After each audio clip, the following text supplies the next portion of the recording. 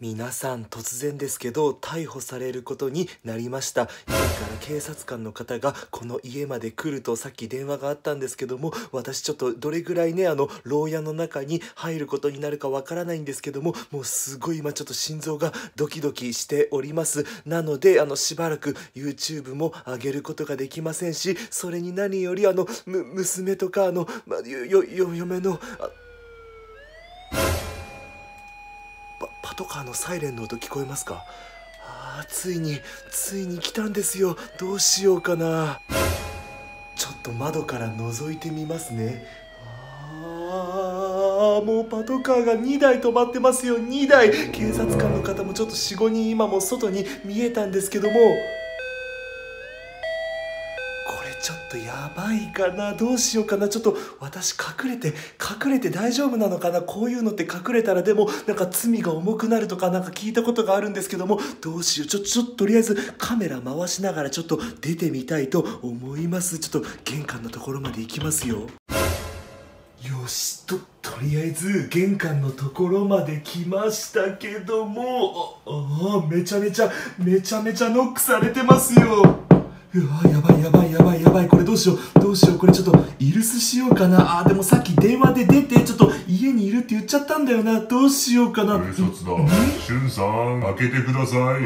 ああちょっと許すしよう許すやばいやばいどうしよう。逮捕されたくないがゆえにイルスを使ってしまいましたよ。家の中に実際にいるのにチェーンを閉めてですね。どうしよう警察官の方このまま帰ってくれないかな。今現在布団の中に隠れてるんですけども。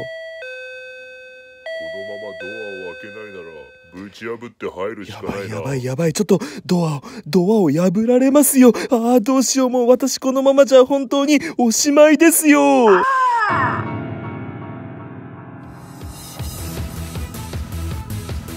どうシュンズ TV です。完全にやってしまいましたよ。私逮捕されることになったんですけども警察官の方が今現在家のすぐそこにいるんですけども私イルスを使ってしまいました。このままだとドアを破って入ってこられますよ。で電話だ。誰からだろう。警察官の方だ。ちょっとで出てみますね。あもうもしもしあ、こちら警察です。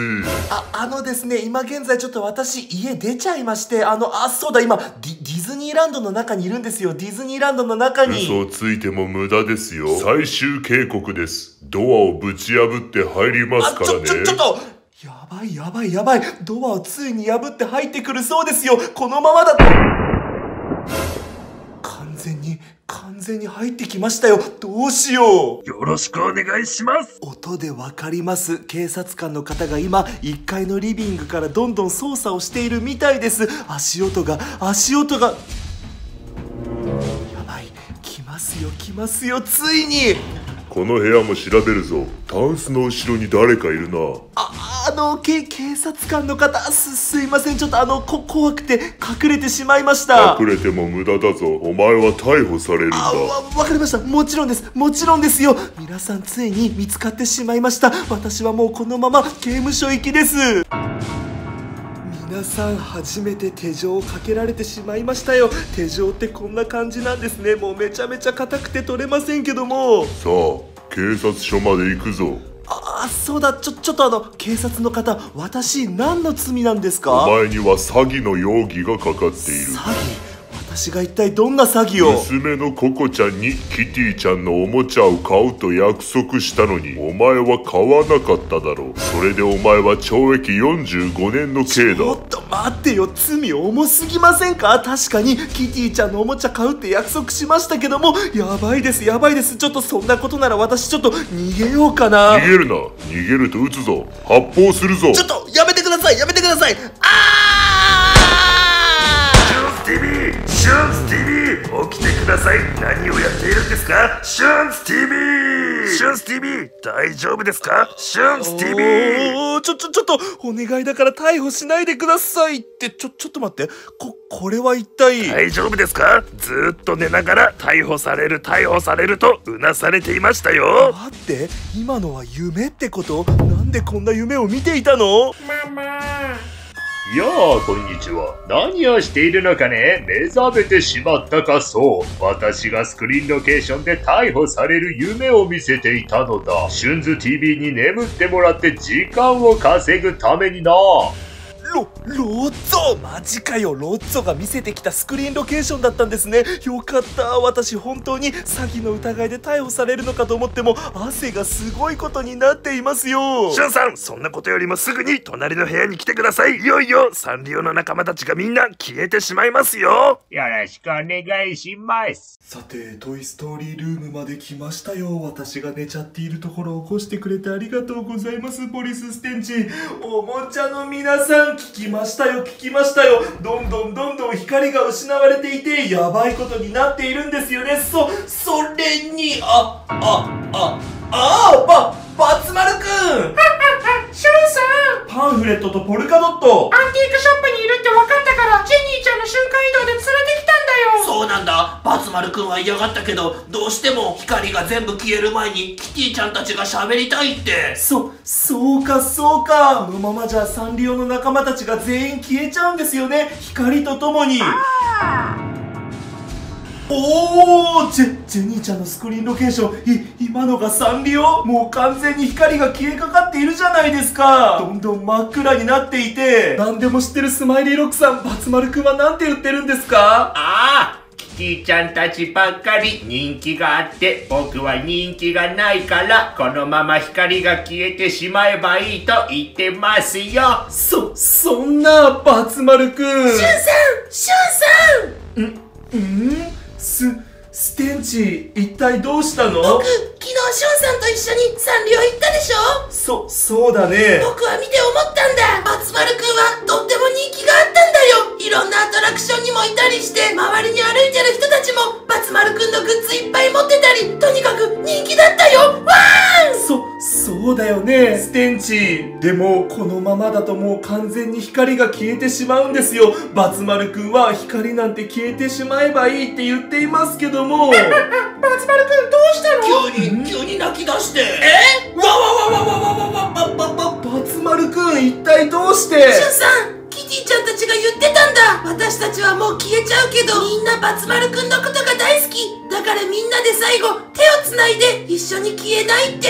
わーんジェニーちゃんのスクリーンロケーションで見ました。サンリオがどんどんどんどん光を失っていてそして闇に包まれていきます。もう今日中に完全に闇に包まれてそして全てが消えてしまうとそういう風に言っていました。キティちゃんたちもみんなこの世から消えてしまう。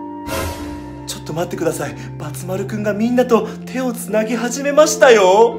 おもちゃのみんな突然バツ丸くんが立ち上がってそしてみんなと手をつなぎ始めましたよ。完全におしまいだよ。サンリオの仲間たちはこのまま消えてなくなっちゃう。でもバツ丸くんが言ってたんだ。どうせ消えるならみんなで手つないで仲良く消えようってそういう風に言ってるんだ。そそうかそうかバツ丸くん。やっぱりバツ丸くんもみんなのことが大好きなんですね。この仲間たちに会えなくなるのは本当に寂しいですけどもいよいよいよいよサンリオが完全に闇に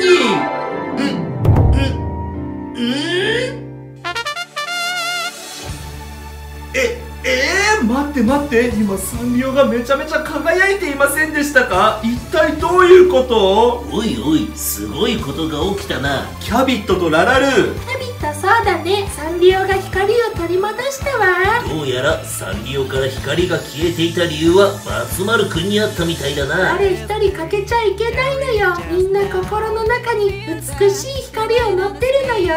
キャビットです。そ、そうかそうか。どうしてサンリオがまた輝きを取り戻したかって言ったらバツ丸くんが帰ってきたからですよ皆さん無事サンリオに光が戻りましたよ。いやとても嬉しいですね。やっぱりそれぞれみんな個性があって心の中に光を持っている。誰一人同じ人間がいないのと一緒で誰かが欠けちゃいけないんですよ。それがサンリオの仲間たちなんです。キティちゃんたちはまたみんな輝きを取り戻した。サンリオに帰ると言っていました。私もココちゃんもまたサンリオに遊びに行きたいと思います。それでは皆さんまたお会いしましょう。さようなら。そして今回サンリオに輝きが戻ったということでこちらの塗り絵セットやハンカチやシールセットやもうここの目の前にあるもの全部抽選で1名様にプレゼントしたいと思います。応募方法は下の Twitter のリツイートとフォローでございます。どしどしご応募お待ちしております。いやー本当によかったよ。僕サンリオの仲間